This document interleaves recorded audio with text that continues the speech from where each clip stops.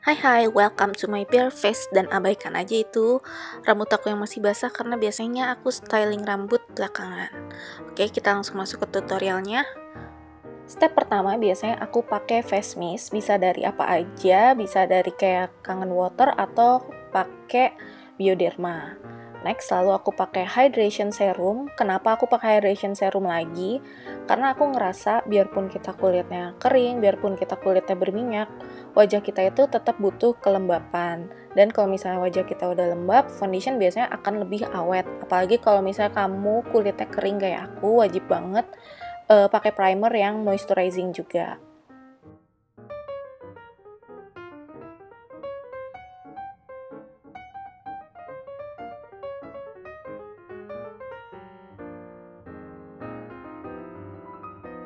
Cara pakai hydration serum ini biasanya aku sebar ke seluruh wajah menggunakan flat foundation brush.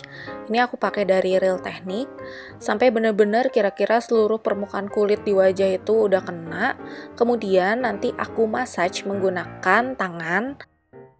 Tujuan di massage ini supaya si hydration serumnya bisa lebih menyerap ke kulit dan juga kalau misalnya kulit kamu kering itu bisa uh, lebih lembab dan juga lebih nempel foundationnya nanti.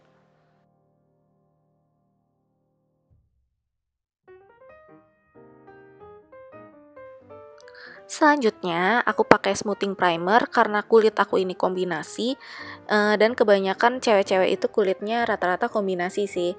Jadi uh, biasanya area T-zone sama area yang pori-porinya besar aku kasih smoothing primer atau kamu juga bisa pakai professional dari Benefit itu sejauh ini sangat sangat sangat amat ampuh untuk uh, yang wajahnya pori-porinya itu gede-gede gitu. Jadi dia bantu ngisi pori-porinya dengan si primer silicone base-nya itu.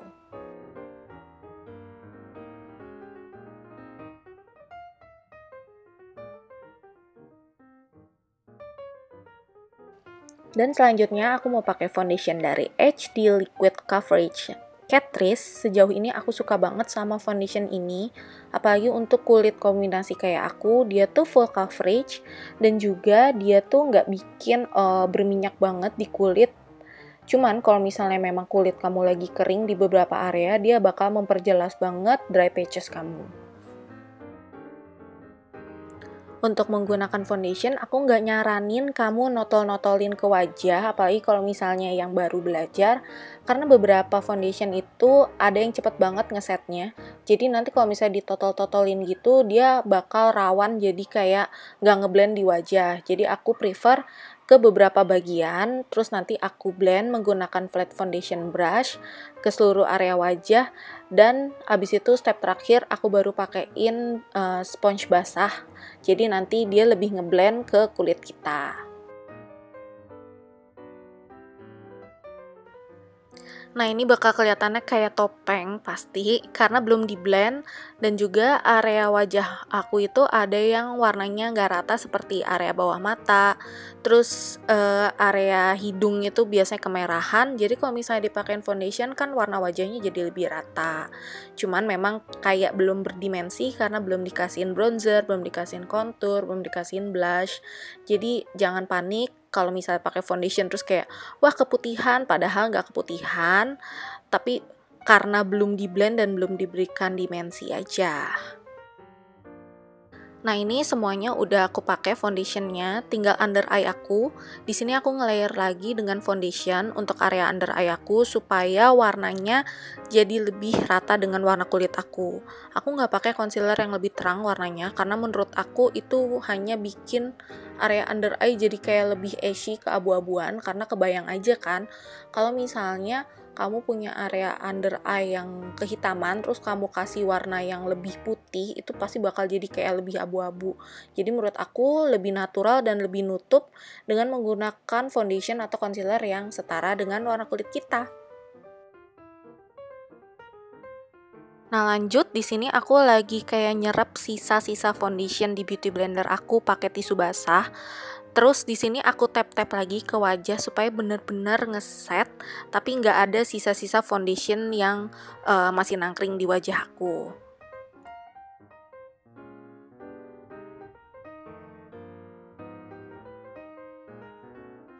Dan step yang terpenting adalah nunggu foundationnya sampai benar-benar ngeset. Jadi rata-rata kalau foundation yang cracking atau foundation yang mudah transfer itu biasanya foundationnya belum benar-benar ngeset. Jadi nanti foundationnya itu sebenarnya kayak dalamnya itu masih basah, cuman ditimpa lagi dengan produk lain. Dan cara yang paling gampang untuk tahu foundationnya itu udah ngeset atau belum adalah dengan menggunakan tisu. Tisu yang kering ya, tisu yang uh, bersih, terus di tap ke wajah. Jadi kalau misalnya ada foundation yang masih basah bisa keserap langsung ke tisu itu. Terus juga dia nanti uh, kalau misalnya tisunya udah bersih, berarti tandanya foundation kamu udah ngeset. Dan ini aku lagi pakai soft contour dengan menggunakan krim contouring. Jadi nanti mukanya nggak terlalu flat dan lebih berdimensi.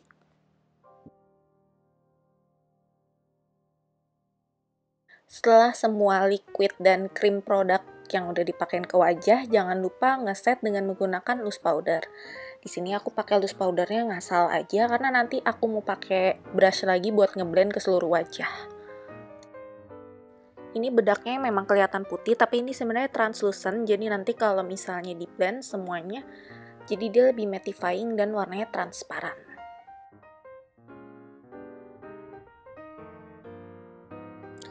Lanjut aku pakai Move Pro Finish. Ini sebagai bedak padat aja supaya dia ngasih warna lagi ke wajah setelah dipakein bedak translucent karena aku mau kelihatannya lebih natural jadi di sini aku pakai brush. Tapi kalau misalnya kamu pengen lebih ngecover bisa pakai sponge dari bawaan bedaknya.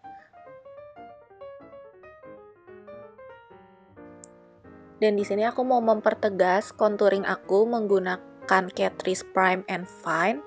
Ini harganya murah meriah banget tapi dia bagus ke wajah di sini aku pakein ke daerah-daerah yang tadi udah aku pakein krim contour jadi dia nanti warnanya lebih tegas lagi dan juga bisa lebih ngeset.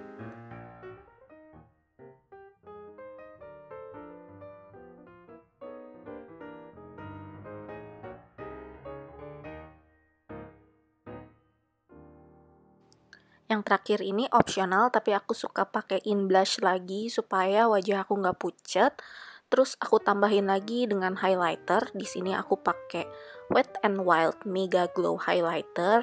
Highlighter yang bener-bener jadi favorit aku supaya wajah kita lebih kelihatan kayak glowing dan lebih sehat.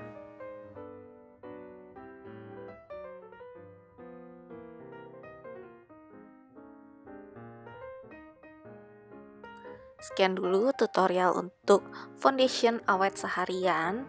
Semoga bisa bermanfaat. Jangan lupa like, komen, subscribe, dan kalau misalnya ada ide untuk video selanjutnya, jangan lupa komen di bawah.